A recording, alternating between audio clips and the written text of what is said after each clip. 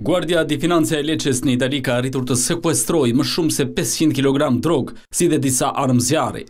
Gjatë një patrullimi të zakonshëm u vure se një automjet jashtë rrugës po tërhiqte një varkë rreth gjashtë metra të gjatë, pa të dhëna identifikimi. Më pas, Guardia di Finanza e ka gjurmuar mjetin dhe e gjeti atë të fshehur pranë një banese.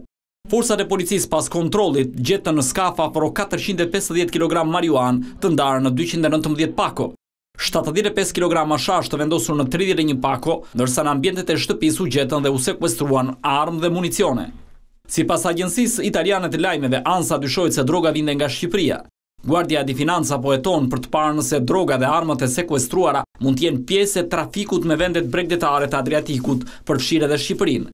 Gjatë operacionit u arrestua një shtetas italian dyzet e pesë vjeç, i cili kishte precedentë të mëparshëm në fushën e trafikut të lëndëve narkotike.